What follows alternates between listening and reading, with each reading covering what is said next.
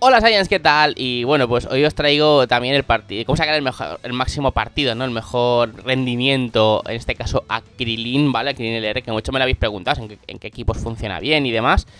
Yo digo, generalmente eh, estas cartas son muy limitadas y es que podéis ver sus categorías y ya está, o sea, es que entra ahí y en monocolor, ¿no? Y ya está, no tenemos más. Entonces, eh, a ver, él es el líder de los terrícolas, por lo cual él ya es el propio equipo, ¿no? Lo que tenemos que hacer es construir alrededor de él. Pero ya digo, Krilin sobre todo es coleccionismo, es eh, multi-hit en caso de que os falte alguno para el torneo y llevarlo en full power, ¿vale? O sea, tenemos eh, estos líderes de full power, o sea que si tenéis alguno de ellos, pues mejor que mejor.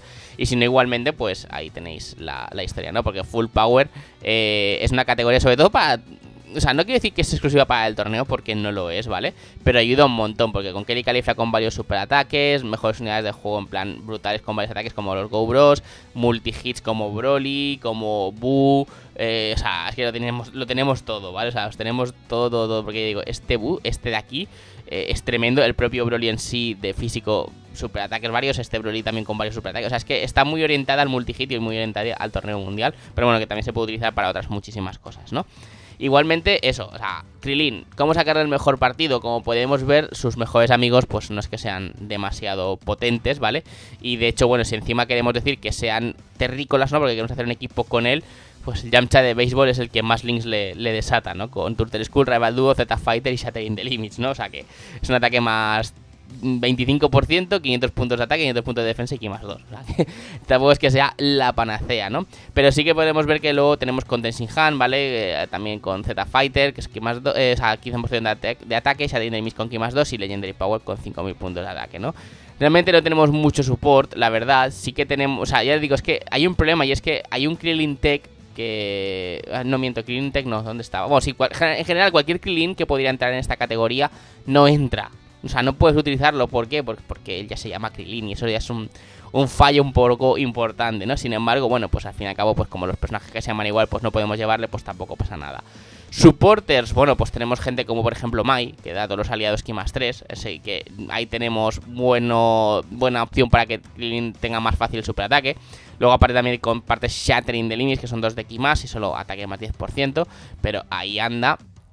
Y no sé si hay mucho más soporte realmente por aquí o no. Pero es que ya digo, la categoría de Earthling es eso, o sea, terrícolas. ¿Y qué terrícolas hay con tanto hype? Pues Up, quizás, casi el mejor. Y como podemos ver, no compartimos nada con él, más que Legendary Power.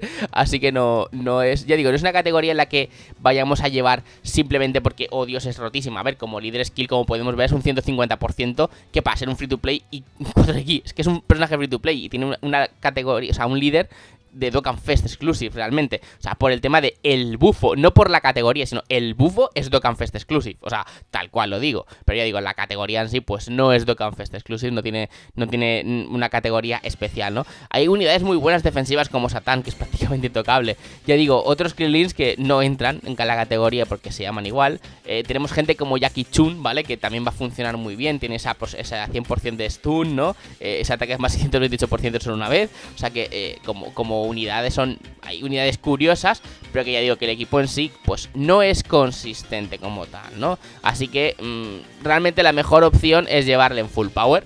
Tal cual lo digo, ¿vale? Y bueno, si centramos en full power sus eh, filtros, como podéis ver, pues no, ver, pues no linkea con nadie. Realmente donde mejor eh, partido le podemos sacar es con Goku Freezer R porque tenemos Rival Duo, que es ataque más 10%, y luego Legendary Power, ¿no? Eh, estaba también este... Mira, por ejemplo, aquí lo tenemos más o menos también funcional, porque con este Vegeta tenemos Z Fighters, que es un 15% de ataque, Shattering Enemies, que son 2 de ki, y luego por pasiva, como él le da a los físicos también ki más 2 y 25% de ataque y defensa, pues fantástico, ¿no? Eh, ya tenemos ahí un poquito más de, de, de punto extra o sea que casi casi digamos que el que mejor partido le va a sacar a Krillin LR es este Vegeta, tal cual, ¿vale? O sea, por el support y por todo lo demás.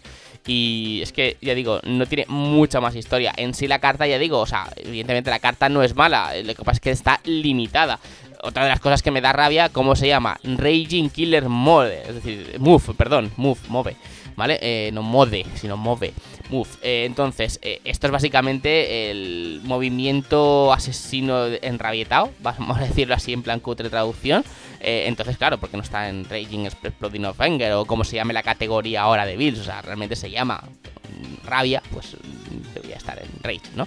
Eh, también podríamos considerar que está en Revenge, porque el superataque que hace con el 12 de ki es el superataque que hace a los Saibamen cuando matan a Yamcha y lo hace también pues en plan venganza.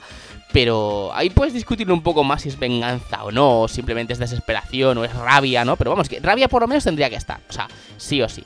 Pero bueno, independientemente de eso, pues claro, es una, es una carta limitada, pero ya sabemos, o sea, es multi-hit, está aumentando cada, cada, super ataque que hace, aumenta su ataque. O sea que en batallas largas va a pegar muy, muy, muy duro este Krilin.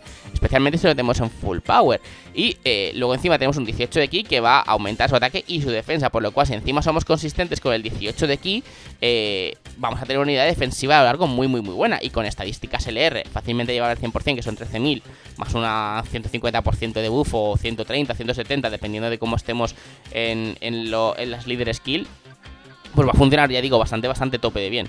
Así que eso, luego pues eso, pues tiene varios buffos de defensa, varios buffos de ataque con respecto a varios superataques, con respecto a cuánta gente se enfrenta y demás.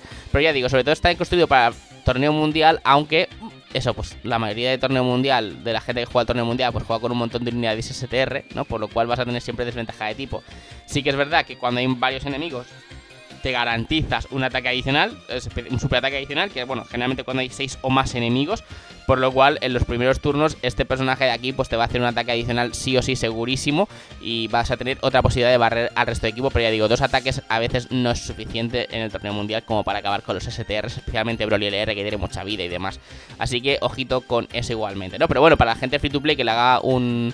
Eh, le haga digamos, ilusión quedar en buenos puestos y demás, pues que R puede ser buen, buen, buen, eh, buen personaje, ¿no? Y aparte con full power, ya digo, o sea, podemos coger a los Brolys que les va a dar buffo, sobre todo si tenemos a este Broly.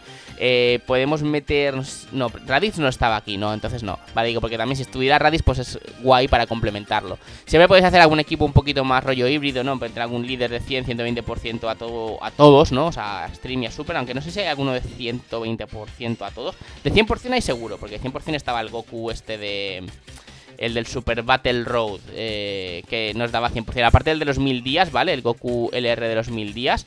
También tenemos a este Goku que da 100% a todos los tipos, por lo cual podéis hacer un equipo ahí, por ejemplo, con este de líder, Krillin, eh, y por ejemplo, ya digo, Raditz. Entonces tenéis ahí dos multi-hits free to play que son bastante buenos y a Raditz le van a hacer una que genial. Pero bueno, ya digo, ¿cómo sacar el mejor partido? Pues realmente en full power con este Vegeta. y poco más. O sea, es el mejor amigo que podríamos decir para, para el DR. Así que nada, Science, eh, aquí lo dejo. No quiero desprestigiar al personaje porque ya digo, el personaje en sí es bueno, me hace mucha ilusión, pero la realidad es la realidad, es un personaje limitado. Así que nada, nos vemos, Science, en los próximos vídeos. Hasta luego.